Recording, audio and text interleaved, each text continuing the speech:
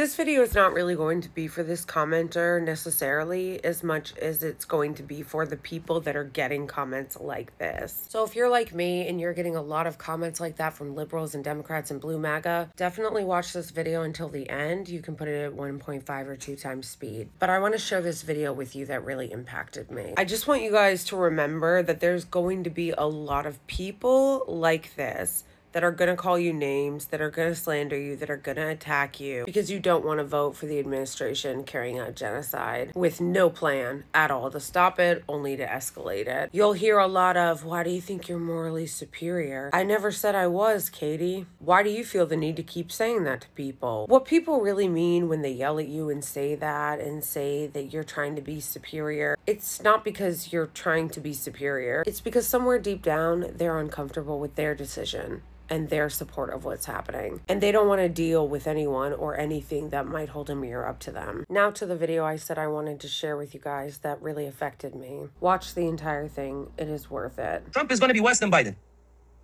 Let's measure it. What do you mean relative to what happened to the Palestinians?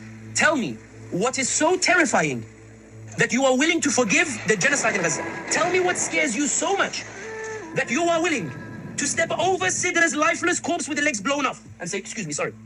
That you will step over Hind Rajab's cold corpse that was shot at 360 times by the Israelis while she sat in the car waiting for an ambulance that was blown by Israeli tank. That you step over Hind Rajab's body, sorry, hidden.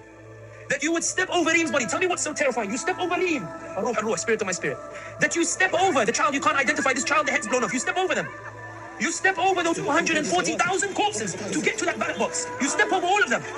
You walk by the Palestinian refugees walking by. Where are you going? I'm going to the ballot box. Voting for who?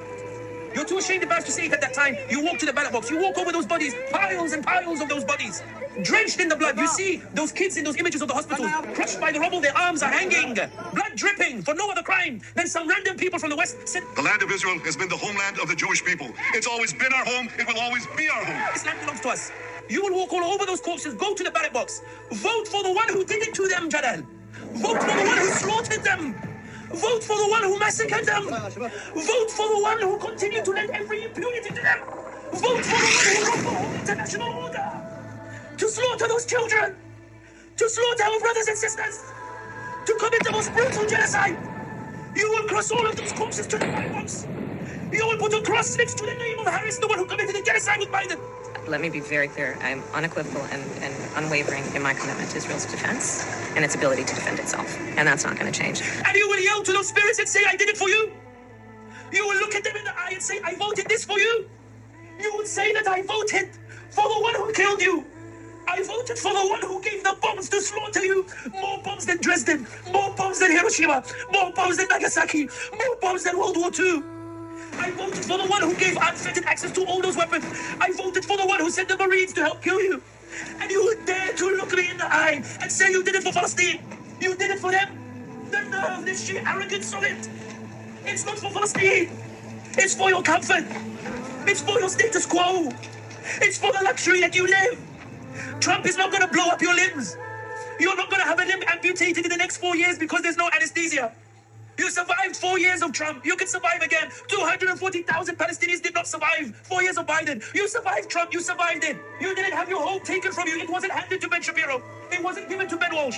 The National Guard didn't ethnically cleanse California of Muslims. They didn't go to the East Coast where it's colder. None of that happened to you in the four years. None of that will happen to you in the next four years. What are you so scared of? That you will go to the ballot box and say, I'm voting for the genociders. Why would you rescue Zionism? Why would you rescue Zionism when it's buckling? Why would you restore their invincibility when it's breaking? Why would you go to the ballot box and say, Zionism, let me prove to the world that even if they support a genocide, they can still win because no one betrays Zionism? Why would you have the chance to break the two party system? You go and rescue Zionism. Why would you have the chance to finally let people lose because they supported Zionism? Why would you go and help Zionism prove that 99 races run, 99 races won? Yeah, Let there be justice in the world. You will not struggle like the Palestinians. You will not suffer anything like them. Yes, indeed, if you don't citizenship issues with America, come to London. London is nice once you get used to the weather. But do not say you're doing it for Palestine. Don't say you're doing it for Palestine.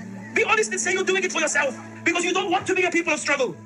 Because the Prophet Muhammad sallallahu alaihi wasallam, the reason he was so successful was because he continued to persevere through the struggle. He was offered the dunya, he said, I will not give up justice. He was offered the comforts, he said, I will not give up justice. But we're telling our kids that you are not successful until you have the home and the Tesla.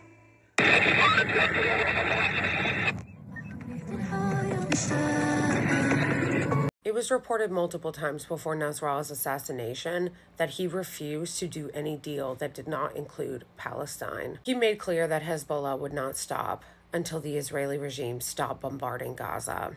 He stood with them till the end.